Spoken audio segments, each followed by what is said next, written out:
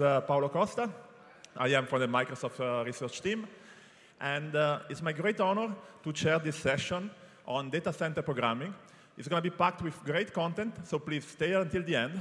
First, we're going to hear about two papers.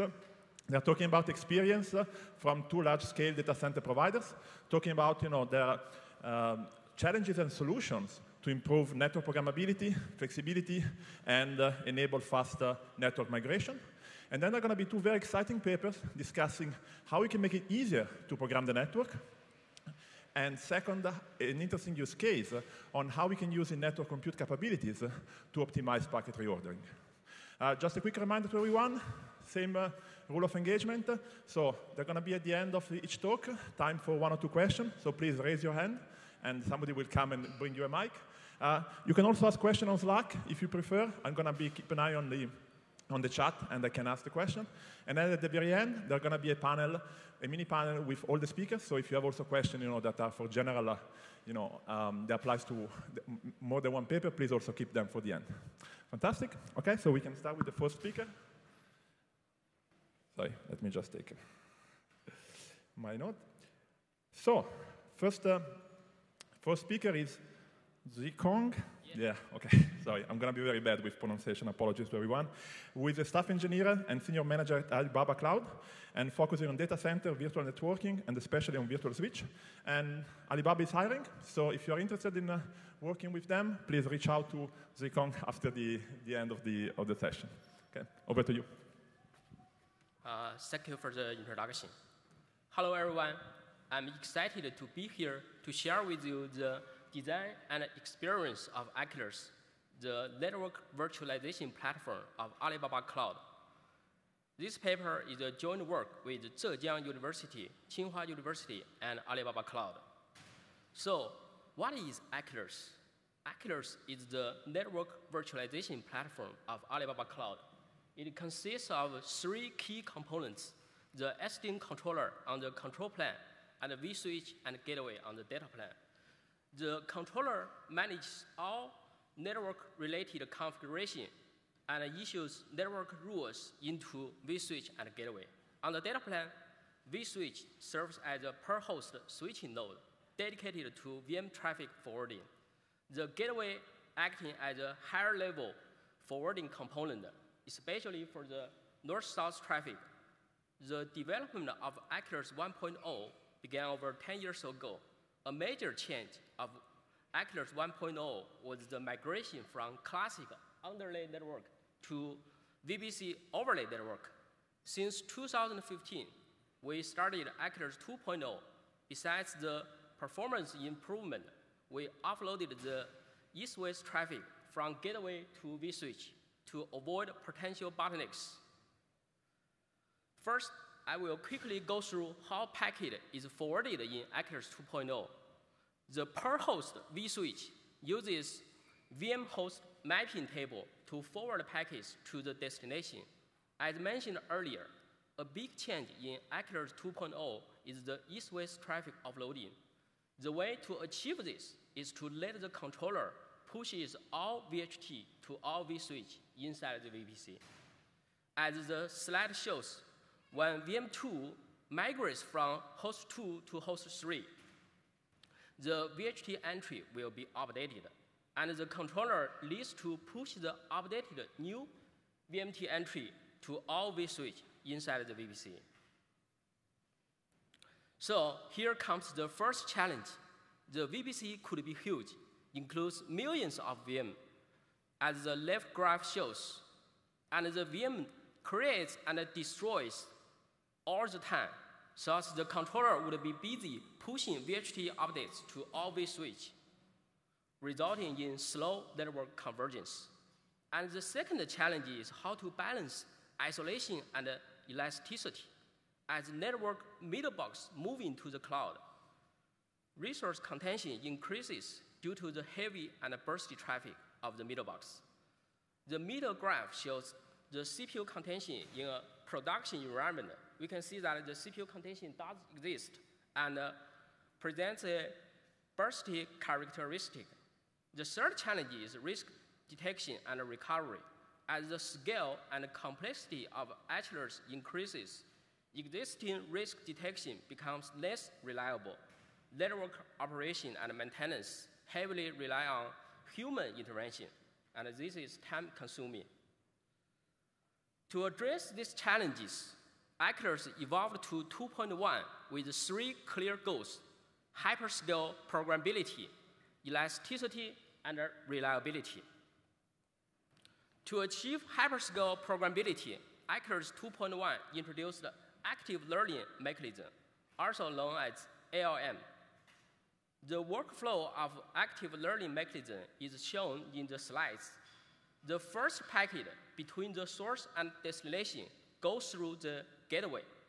In the meantime, the vSwitch initiates a a root synchronization request packet to the gateway to learn the VHT entry of the destination. Then the gateway responses the corresponding VHT entry within the root synchronization reply packet. Then the subsequent packets to the destination will be directly forwarded by vSwitch. In this way, the controller only needs to program the VHT information into the gateway rather than all vSwitch inside the VPC. So here is the evaluation result of active learning mechanism. From the left graph, we can see the convergence time remains no more than two seconds, despite the number of VM increased from hundreds to millions. We also measured the overhead of root synchronization protocol. The result shows it costs less than 4% of the total traffic. Comparing the benefits it brings, this is uh, cost is accept, acceptable. For the isolation and elasticity challenge, Achelous 2, Achelous 2.1 introduced both scale up and scale out mechanisms. Scale up is for short term burst traffic, and scale out is for long term business increases Elastic credit algorithm is our solution to scale up. The reason we introduce it is because existing BPS and PPS rate limiting cannot meet the isolation requirement. This is because CPU cost varies significantly depending on the type of the traffic. For instance, new connection consumes much more CPU cycles than existing connection, and short-lived connection cost much more CPU cycles than long-lived connections. The left graph takes a simple example to illustrate the algorithm. We constantly measure how much CPU cycles of the vSwitch consumed by each VM. When the current consumed cycles is less than the assigned quota, then we accumulate credits for the VM. And when the consumed cycles greater than the assigned than the assigned quota. The accumulated credits is consumed to handle the burst until the credits are exhausted. Then the VM is limited to the assigned quota to ensure isolation.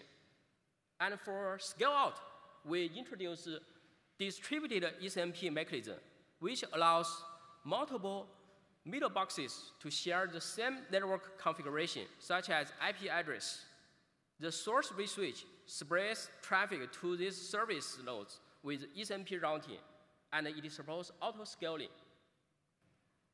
When a new service node added to the ECMP group, the VHT entry will be updated automatically without any manual configuration. With distributed ECMP mechanism, we have successfully migrated most of the network middle boxes into Achelous such as Cloud Load Balancer and Cloud Firewall. By using elastic credit algorithm, we not only well handled the burst traffic of the middle box, but also reduce the overall resource contention. The right graph shows elastic credit algorithm reduces the CPU contention by 75%. For the risk detection and recovery problem, Achelous 2.1 introduced an active detection method between the VM to vSwitch and vSwitch to vSwitch. As shown in the right table, with the help of active detection, 234 risks, risks were detected in two months. We can see that many risks can be predicted and mitigated, such as uh, CPU contention and hardware warnings can be recovered by live migration. However, live migration is not that easy when it comes to seamless user experience. Achelous 2.1 resolved this issue by two techniques. For stateless traffic, we use traffic redirection. During the VHT convergence time, the vSwitch on the source host of the migration redirects traffic to the target host to resume network connectivity.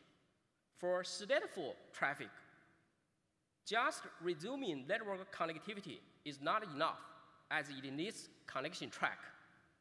The solution of Achelous 2.1 evolved from session reset to session sync, which copies all stateful sessions to the target vSwitch to address the issue. The evaluation shows with the traffic direction, redirection, and session sync techniques, the median downtime of live migration reduced to 100 milliseconds. To conclude, for programmability, we introduce active learning mechanism to ensure sub-second level programming time, even when there are millions of instances. For elasticity, we design elastic credit algorithm and distributed ECMP mechanism for seamless scale up and scale out under the premise of isolation. For reliability, the risk awareness and live migration ensure 100 milliseconds recovery time for talents. And uh, that's the end of my talk. Thank you for listening, and I'm happy to take questions. Thanks so much for the great talk. Um, questions? Sorry. Yeah, Dave? In the case of updates uh, Yeah. after live migration or any other change, Okay. do you see uh, tail behavior where there are a couple of uh, hosts that don't get the update, and how do you handle those? And what kind of uh, tail behavior have you seen in terms of time to finish all updates? Okay, uh, because we implemented the active learning mechanism, so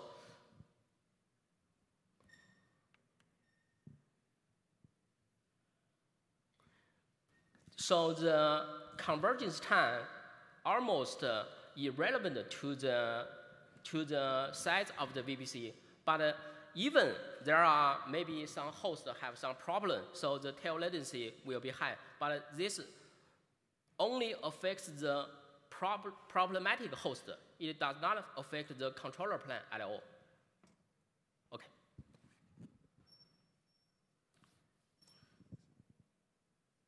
Okay. Okay. If there are no more questions, okay, I think we can thank the speaker again. And there will be a panel at the end also, so, so if you, there's an opportunity to ask questions at the end.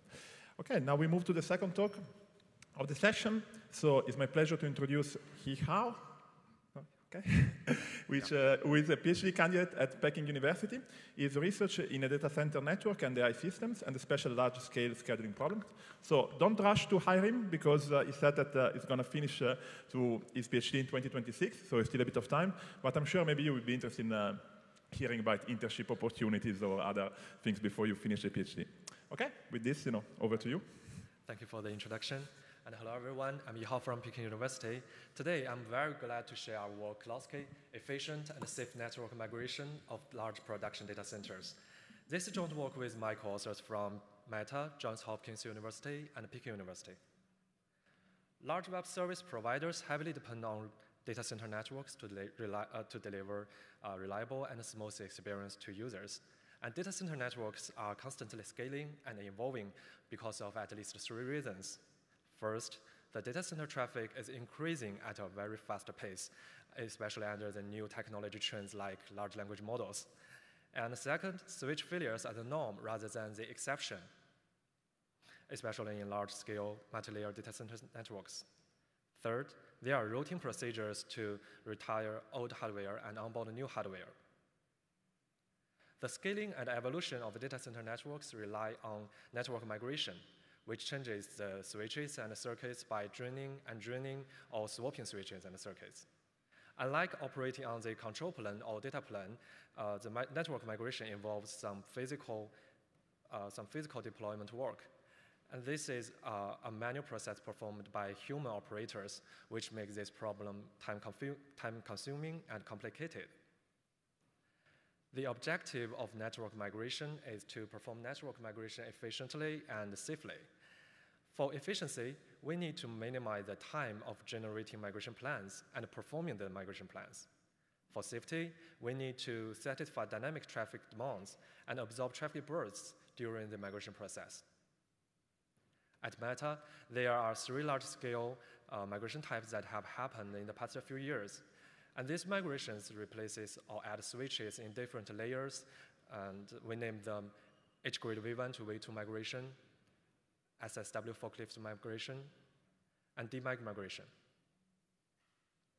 These migration types involve hundreds of switches, tens of thousands of circuits, and tens of terabytes, and can take several months. So, why is the network migration problem difficult? First, the data center network architecture is complex and evolving. At Meta, there are eight layers and more than nine types of switches, which is more complicated than the conventional Clos network topologies. Besides, multiple generations of switches, circuits, and routing protocols may coexist in a single migration task. Second, various operational requirements exacerbate the network migration problem. The demand variance is not negligible considering the long duration of migration. The traffic grows organically over time, and unexpected traffic bursts happens occasionally. Additionally, the total number of ports on the hardware is a hard constraint. Third is the large space, search space of the planning problem. A real-world migration task usually involves hundreds of switches per data center, and the number of possible migration plans or the number of permutations of these switches is more than 157 uh, power of 10. The efficiency requirement makes the problem more difficult. Here, we consider both the time to generate the migration plan and the time to finish the migration plan. Previous work mainly lies in two categories, grid-based planner and symmetry-based planner. The grid-based planner utilizes grid strategies, but it cannot guarantee the optimality of the migration plans. The symmetry-based planner utilizes the inherent symmetry of the data center network architecture, but it cannot scale to complex migration types and topologies. To solve the challenges, we introduced Klotski, a system for efficient, safe, and optimal data center network migration of large production data centers. Klotski reduced the time to get the mig optimal migration plan by up to 381 times compared with previous work. And it has been deployed at Meta, at Meta since 2020 to serve 20 regions. Takes constraints, forecasted traffic, original topology, and target topology as input. First, it prunes the large search space by inherent symmetry and the locality of data center network without affecting the optimality. Then, the planner of Klotski computes the optimal migration plan by A-star search algorithm. Specifically, in order to leave room for traffic spikes, the demand constraint requires the utilization rate of each circuit to be lower than a threshold. Besides, the port constraint limits the number of user ports. The objective of the migration planning is to minimize the operational cost. The operational cost mainly come from two consecutive actions with different action types, because in practice, uh, actions with the same types can be operated simultaneously with almost no extra cost. The large number of switches leads to an extremely large search space. Like previous work, we also utilize the symmetry property of switches. However, there's little symmetry in Meta data center networks, making this approach inefficient. We further utilize the locality of switches, and one key observation is that operating the switches close to each other um, simultaneously leads to little extra cost and little impact on constraints. Thus, we merge switches into, with locality into one operation block and operate them together. This greatly prunes the search space.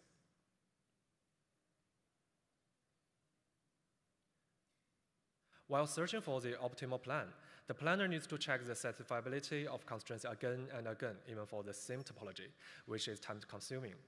We found that the constraint satisfiability is only related to the uh, current topology, no matter what the action sequence is.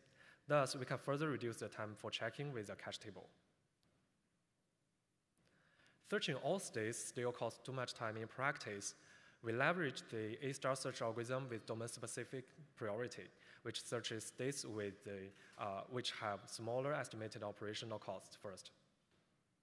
Specifically, the estimated operational cost is the existing cost plus the uh, estimated remaining cost.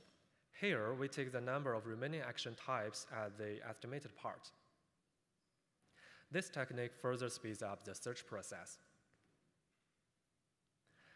Our evaluation is performed with five production level data center network topologies with up to 10,000 switches and 100,000 circuits. The three migration types involve up to 700 actions. We use historical traffic collected by Meta's data center network. We first evaluate the optimality of the plans. Klotski can always get the optimal migration plan with all topology sizes and migration types we evaluated. We also evaluated the efficiency. Klotski reduced the planning time by up to 381 times compared with baselines. Klotski finds the optimal plans for all test cases within four minutes, while baselines may not find feasible plans within 24 hours. Next, I'd like to share our operational experience. In some production scenarios, network operators need to create special routing configurations during the migration process to utilize the special intermediate topology. Also, we need to incorporate traffic demand and uh, forecast into the migration process because the migration may take several months and the traffic may increase drastically. Besides the standard demand and port constraints, we also handle with other operational constraints including the failures during operation duration, simultaneous operations, and expected traffic surge, and so on. We also explored various deep learning methods like reinforcement learning and graph neural network. However, we made some practical obstacles, including scalability, efficiency, and reliability.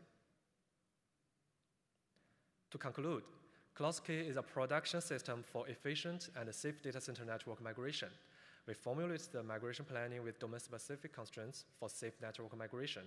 And we also leverage locality and informed search to improve efficiency. Klotski is actively running at Meta data centers. Thank you for listening.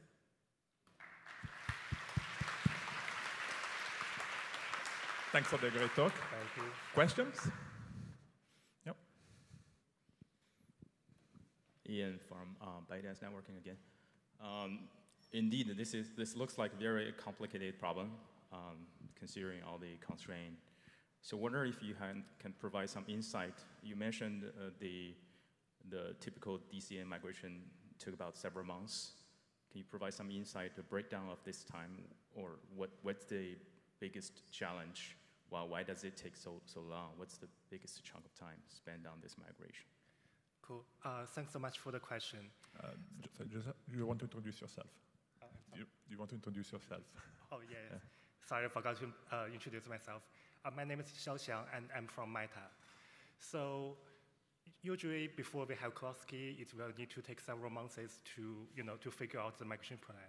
This is because there are lots of manual works, such as we need to manually calculate if we want to uh, join one H grid, then uh, what's the traffic will be, such as we have some limitation uh, the traffic in one data center cannot be more than 75% of the capacity. So we need to do lots of simulations. And at that time, we also don't have a mature simulation tools. So there's lots of back and forth between the network engineer and the software engineer. And uh, during the migration, you know, each migration will take one or two months to finish because we need to do it step by step. And after every step, the actual traffic in our data center will change. So we need to redo the simulation after that. That's the reason why it will take a long time. We have time for one more question. Um, okay, then maybe I'll ask. I was intrigued by your comment that uh, you tried machine learning uh, methods and this didn't work, uh, which sort of you know goes against you know the common trend that now we're using machine learning everywhere for networking. Can you maybe elaborate a bit more on what are the challenges and limitations, and perhaps if you see like you know a way ahead in the future to uh, use machine learning or uh, integrate your system with some machine learning uh, yes, capabilities? Yes, as we listed here, we tried some uh, new technologies, uh, the deep learning methods to try to do this migration problem, but we met some practical obstacles like the scalability. For example, we can do well on the small scale problems, but we can't, uh, it's a little difficult to scale out to the large scale problem and complex migration types. And also, we also met some efficiency problem and reliability problems. Uh, and we list some reasons in our paper. And if you're interested, you can refer to our paper for more details. Thanks. Fantastic. Okay. Any more questions? No? Okay, then let's check the speakers again. Thank you.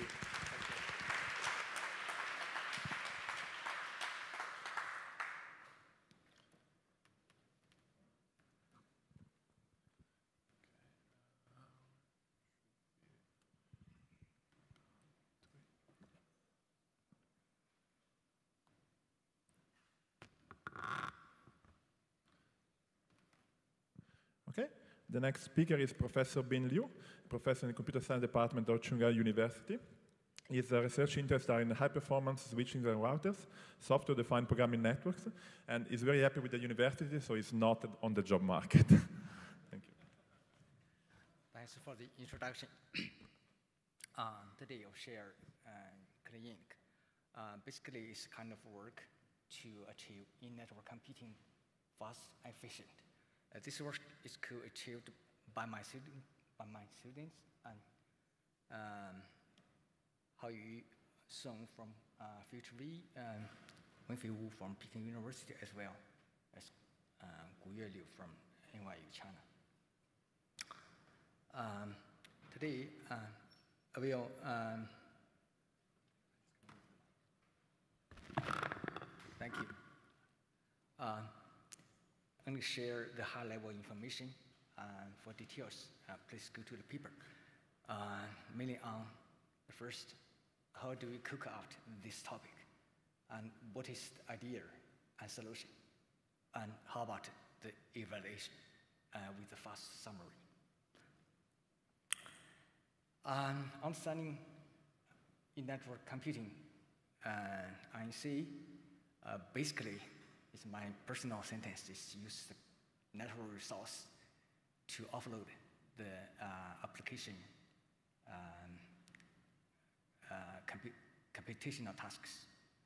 Um, hopefully uh, to achieve um, good latency and reduce cost uh, and power consumption.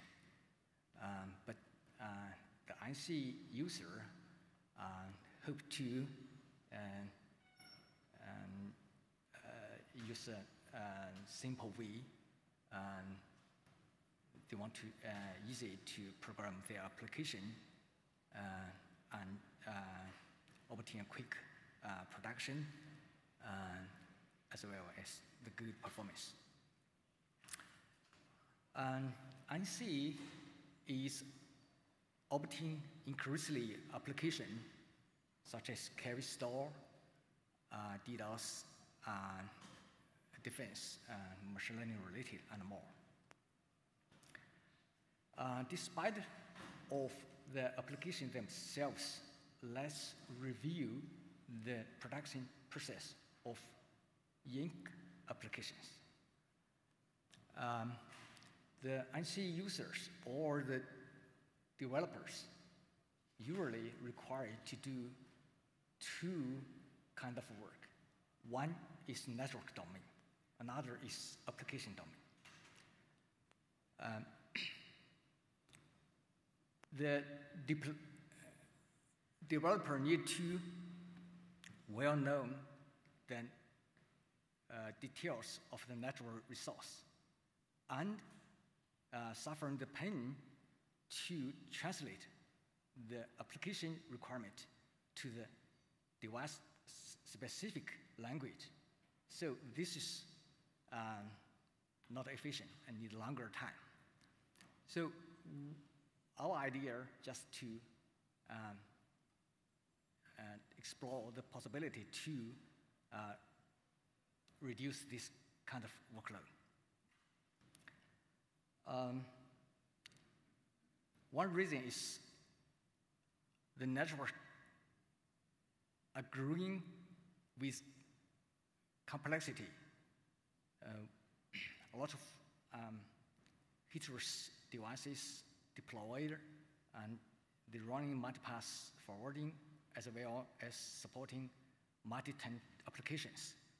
So facing this challenge, uh, some recent work tried to um, help reduce the workload of uh, INC developer, uh, either to mask the heterogeneity of the device or to help um, dis distribute the complicated tasks into the course device in the network. This helps, however, uh, it's not enough to achieve a high efficiency. So what is we to do for um, high efficient INC um, production? Um, referring to the cloud service provisioning uh, in data center, there we um, just utilize the network resource as a logical view to the um, users. Similarly, in the network for INC, we do have uh, the heterogeneous device, um, and we need to um, manage the cross device orchestration. So, um, how to address the natural issue? And uh, becomes the challenge. We want to make the INC development as an app, not a development process. Given such, we want to mask the network details and we want to, the INC, we want to let the network to be transparent to the developers. Uh, and again, I want to isolate the multiple INC applications. So we have a, a beautiful dream. Try to um, achieve the INC with a simple, clean uh, uh, INC. Uh, idea is to treat the INC as a service. We um, have three abstractions from the device level to the network level to the application level. With the goal of INC tools help to mask network details, provide an open API to customers, and support uh, easy programming. In this way, the user uh, only need to focus on their development and um, ignore uh, complicated network issues.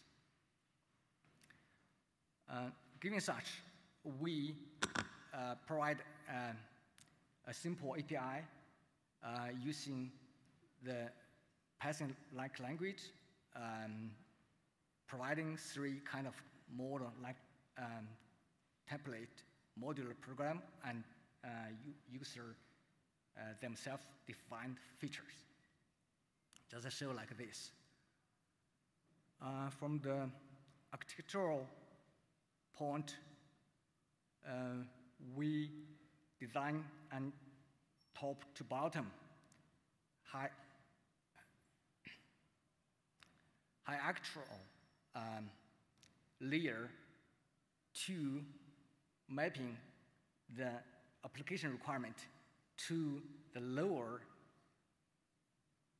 uh, programmable devices uh, via the com compiler, task uh, allocator, as well as the program and resource manager. Um, to uh, show the effect of uh, ClickINC, we do some uh, experiments.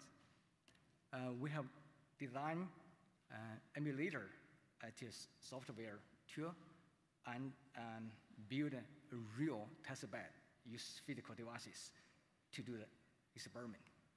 Uh, result uh, show the ClickINC did, does achieve good performance on different uh, network configurations. We choose an application example of sparse gradient parameter aggregation as an example.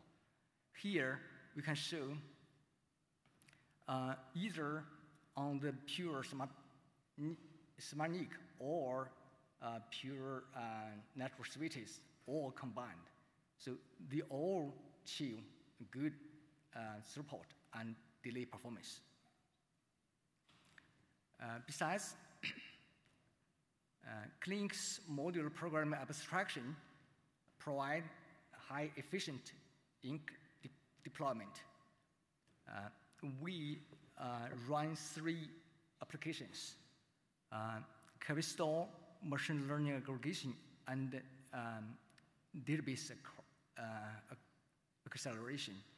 We can see comparing to the other work, um, ClickINC will use less line of code, um, but support more functions. Again, giving the higher abstraction, ClickINC uh,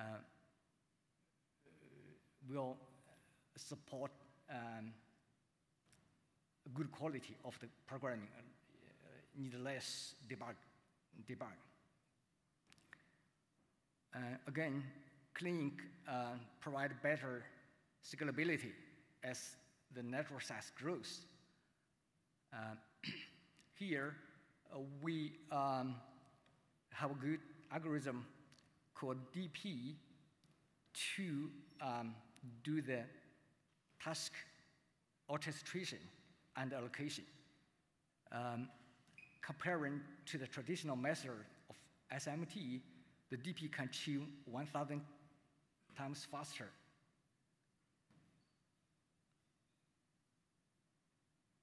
And uh, have less uh, uh, placement time with the similar um, quality. So quick summary. Uh, we, we propose a concept of INC as a service, and we design a top-bottom framework uh, to uh, quickly develop and developing the INC applications. And uh, we run, we, we design a software emulation, emulator and, and do the real um, experiment by building a physical test bed to show the um, effectiveness of ClickINC. Um, ClickINC, a lot of to do. It is still on its early stage. Uh, our ongoing work, including um, application isolation and improve the uh, interface as well as uh, the parameter selection. And we plan to uh, extend the uh, device and to DPU and smart, more DPU and smart ink devices. Oh, that's all. Thank you very much.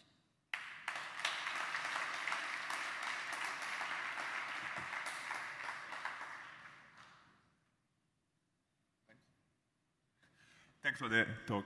Um, we have time for one question. My name is Dongyan Lee KAIST. Oh, how do you define modularity? You ask how you find modularity. Yes, how, how do you define modularity, modular programming?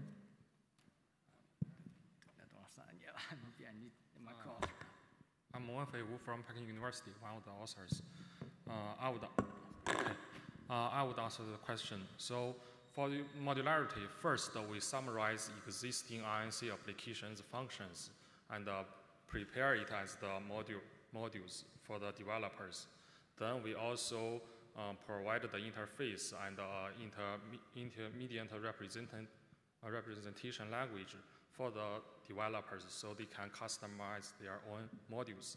Then all these modules are organized as Python modules. They can be composed using Python syntax to develop the INC program.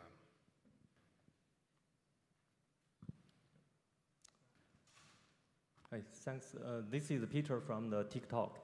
So I saw your architecture, you mentioned the Trident 4 switch using the Broadcom, the simulator.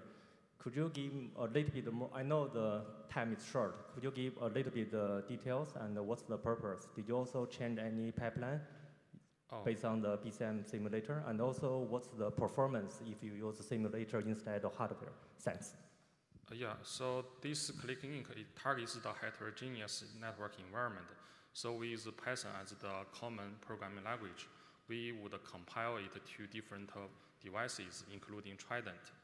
Mm, and uh, we also support P4 and uh, FPGA. For performance, we use uh, emulator. We build container networks with the Trident simulator as one as the network device node.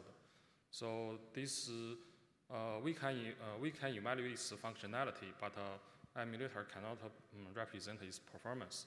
So this is the result shows showing shows the compilation process its efficiency. Um, I think there was one last question. Okay. Um, Hi, I, I, think it's a great talk. Um, I'm Xing Jun from Huawei Technologies. I think it, uh, the colleague, uh, colleaguing tried to provide a, a framework for uh, you know uh, programming the whole network as a computation platform, which is a great idea. So I just have a question uh, for the slide 17 you try to compare the, uh, with some, uh, something uh, for the performance. What's the baseline you try to compare with? What's what? What's what's the baseline you oh. compare against for the performance? so on the, on the slide 17. Yeah. Yeah. So we when we have a ClickINC program, we place it distributedly on the in the on the network devices.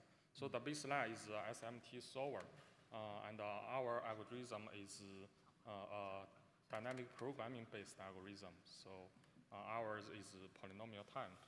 The MSMT is is not exponential. But the result is uh, is, uh, is the performance in terms of uh, the network performance, or just uh, how you quick can quickly deploy the, the yeah, it's how the network devices are whether it's used efficiently.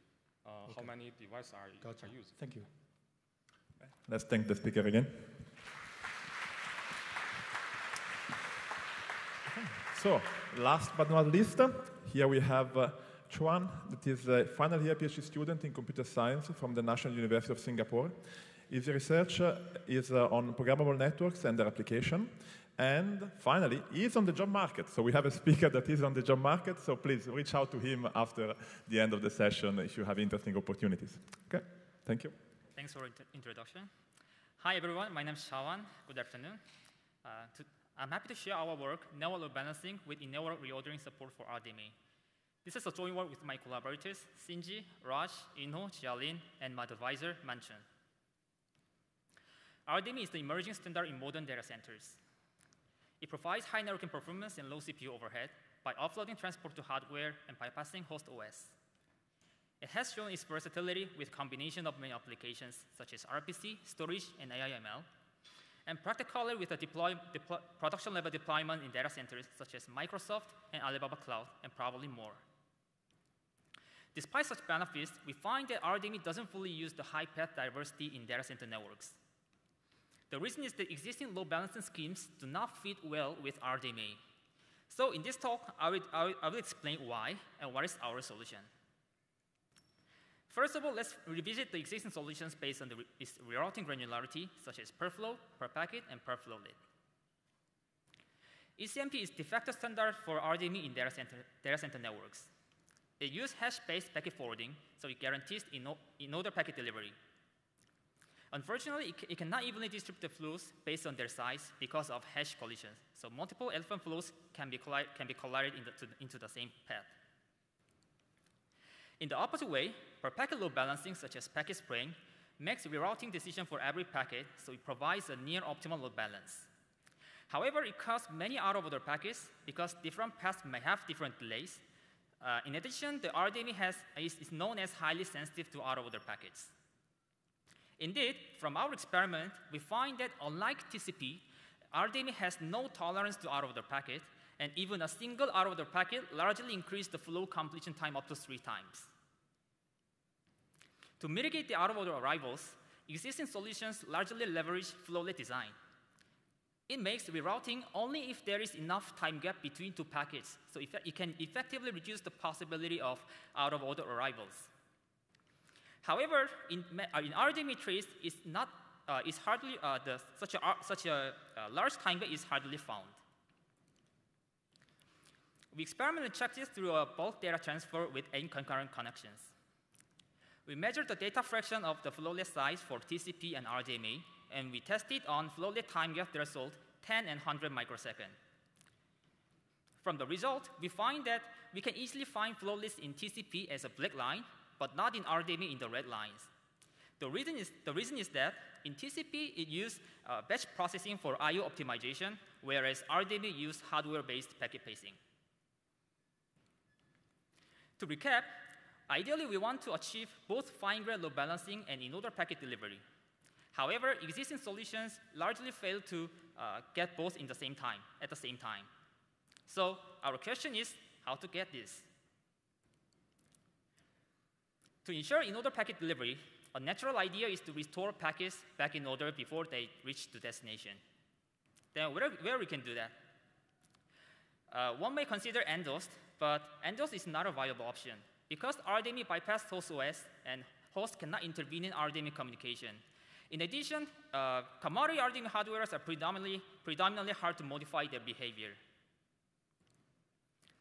Instead, we find opportunity from the features of recent programmable switch, Intel Tofino 2, that supports um, in-network um, packet storing in the network with multiple FIFO queues and queue post-resume capability. Unfortunately, it's, it's hard to restore arbitrary packet orders on the switch. The reason is that uh, it is, it is, uh, there is a lack of, sorting lack of sorting primitives on switching hardware. Although we want to implement the sorting primitives on hardware, uh, it is challenging because of a limited sorting, re limited resource and time for restoring and flushing packets at line rate. Here is an illustration. Let's say there are four packets coming in the reverse order. To reorder them, we need to store packets to multiple FIFO queues and flush them individually uh, uh, in the relays. So uh, it, it, is not, uh, it is not easy and expensive to do it in line rate. So to make reordering manageable, how can we constrain the packet reordering patterns? So in this talk, we propose our solution, ConWeave. Here is an overview. ConWeave is running on ToR switches, so it is end-host agnostic. At the source ToR, we make rerouting, and the packets are restored back in order at the destination ToR. From the previous lessons, we know that there is, uh, it's hard to find the time gaps, and arbitrary packet order is not easily manageable. So we cautiously split the flow and make rerouting for the ease of reordering. ConWeave uses multiple techniques in lightweight path monitoring, congestion evasive path selecting, and cautious rerouting to incorporate the switch's reordering capability and packet reordering implementation on hardware. In this talk, I'll be describing the techniques in cautious rerouting, and more details can be found in the paper. Our key idea is to make rerouting only if there is no in-flight out-of-order packets. It enables switches to reorder a flow using only a single reorder queue. Here is an example. Let's say there are two available paths between a pair of ToR switches, and the current path is congested, so we want to make rerouting. For the incoming packet, we put a packet tag tail that indicates this is the last packet before rerouting, and send it to the old path. After rerouting, for the next incoming packet, we send it to the new path. If it, arrives too early, then it makes out of order packet. So we dynamically assign a reorder queue for the packet and, reorder, uh, and uh, buffer the packet. After some time, uh, when destination receives the tail packet, that indicates that all packets before rerouting have processed, so uh, we flush the reorder queue. After flushing the queue, we release the queue for resource efficiency and redirect the flow to the normal queue. After that, we, we send a clear packet to the source ToR saying that there is no more in-flight packet, so we can start a new rerouting. Over the loop, ConWeave consistently reroutes a flow for a fine-grained load balancing when congestion is detected while delivering packets in order. We performed the experiment on RoCEv2 testbed with, uh, on lossless Ethernet. We used 2 to 4 least fine topology with 16 RGB nodes on 25G ports. We compared ConWeave with existing solutions, ECMP, LetFlow, and Drill, under a narrow load 80% with RPC workload. We measured the average and 99.9 percentile tail uh, flow completion time. From the result, what we find is that existing solutions, flowlet, and per packet rerouting does not perform better than ECMP, which is what we expected in the previous discussion. In addition, we find that RDME effectively reduced the flow completion time compared to ECMP, such as 16% and 44% respectively for the average and 99.9% uh, percentile FCT. The main overhead of the ConWeave is the buffer and queue usage for packet reordering. To evaluate the uh, overhead, we, we performed the experiment on 128 hosts on 100G links with narrow load 80% with diverse workloads such as RPC, storage, and Hadoop. Over the entire evaluation, we find that the maximum size of the buffer usage per switch is less than 2.5 megabytes, and the maximum number of the queue usage per port is less than 10. To put this result into the context, uh, the overhead is much less than the switches, recent programmable switches capacity, uh, such as tens of megabytes of the packet buffer and up to 100 of the physical queues. To recap, we propose ConWeave, a narrow load balancer specifically designed for RDMA. Throughout the techniques, we achieve fine-grained load balancing and in-order packet delivery. ConWeave is end-host agnostic, so it's compatible with commodity RDMA hardwares and RoCEv2 compatible. Thank you for listening.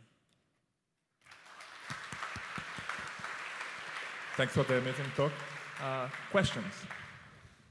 Yes. Hi. Thanks. Great talk. This is Mahmoud from Huawei.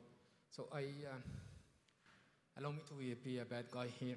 When you said that you will need one queue, if you have multiple queues, uh, multiple flows, and you have the tail for, let's say, flow one and two, and you are waiting for the, the tail for flow three, and you have to flush the queue, you are in a very bad situation because flow 3 is already in the queue. Uh, basically, we are using per flow queue scheme. So when the flow comes in, we prefer the, uh, we assign the queue to the uh, specific flow, and then we, uh, after flush the queue, then queue will be assigned to the next active flow. Yes, so you need two queues per flow. Sorry, two queue for... Two queues per flow. With flow. Two queues per each flow. Per each uh, flow. Yeah. Thanks. Okay. Hi, I'm Sana from Johns Hopkins. Um, so data center networks are quite bursty and um, a lot of incast events occur. How do you think this um, design would work under such workload, especially under heavy incasts? Okay, that's a very good question. So in our ConWeave work, we are focusing on the ToR's uplink to destination ToR's uplink. So we are not focusing on the incast. Incast is happening in the, at the downlink of the ToR switches. So in this case, we are leveraging the congestion control instead of uh, handling the network side. Incast is uh, typically a multi multiple senders uh, are sending the fact, sending flows to the one destination. So incast happens at the destination destination towards downlink. So in ConWeave, we are not covering that issue. Okay. So let's thank the speaker again. And can I call all the speakers back on stage? We do like a mini panel.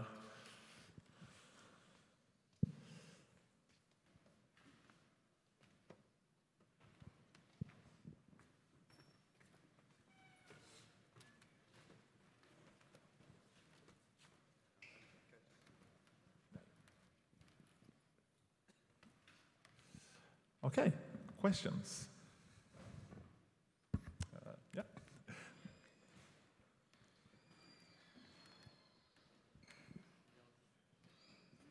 Sorry.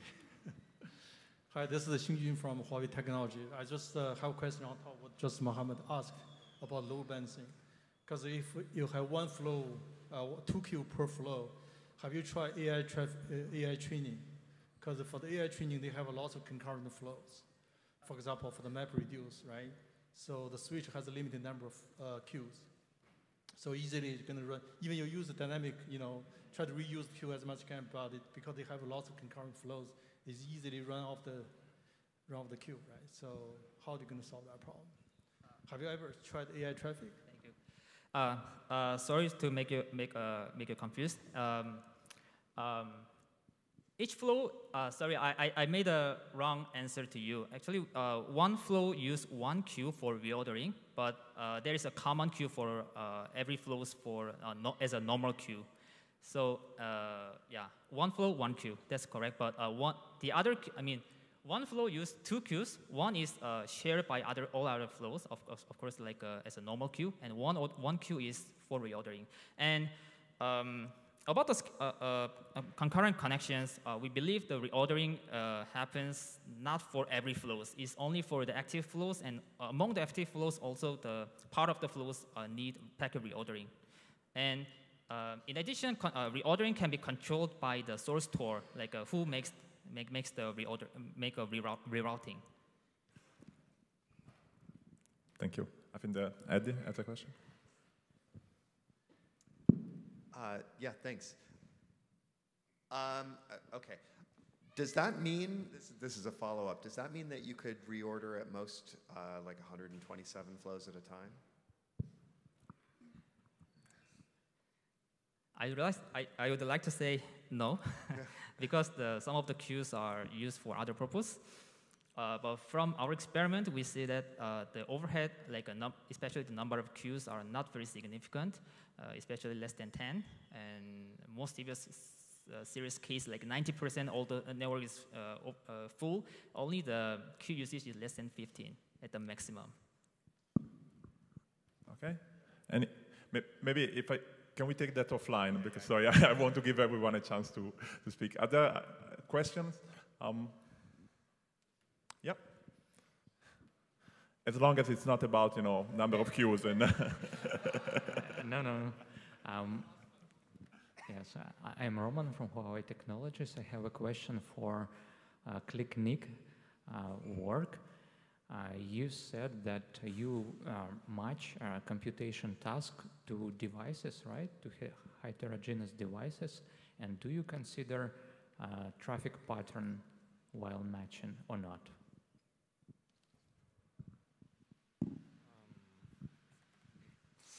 In the current work, we didn't consider that. So if we need to consider traffic pattern, um, I think these functions are independent from traffic pattern because uh, different functions, they process different, uh, they have different functionality. Different module has different functionalities. So the different uh, applications, they are isolated and processed by the different uh, modules. Um, so I think it's an independent problem. It's, mm.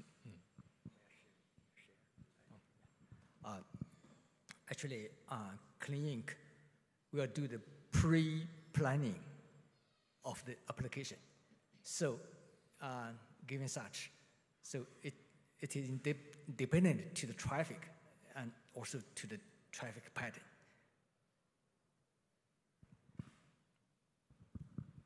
Okay, one last question.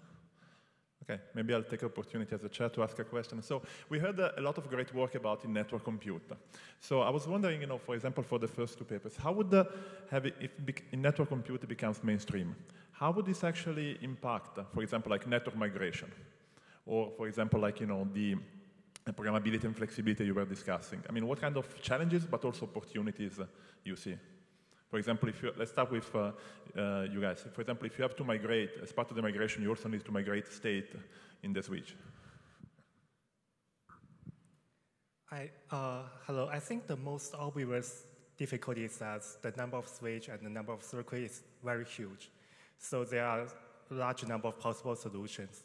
And besides that, since Meta has built a data center for several decades, so there are different versions of uh, network structures coexist in one data center. So that's the reason why the migration is very difficult. We need to analyze them case by case. So for this reason, usually it involves lots of manual works. We need to do lots of manual calculations on specific data centers. So uh, in the future, I think the Klotski or in the future, we can use deep learning, reinforcement learning method to accelerate this process to make it more efficient maybe to you, last question. If you have, for example, in network compute capabilities, yeah. So, oh, yeah, sure, sure. Uh, for the uh, virtual switch uh, logic uh, offload to the such as the top of the rack, I think the uh, the reason we don't we don't suggest that is because we we like to leverage the strengths on both physical network and the virtual network. For per our understanding, the physical vSwitch is better suited to the high performance. We want to keep it simple because we it, because it always have limited CPU resources and memory resources.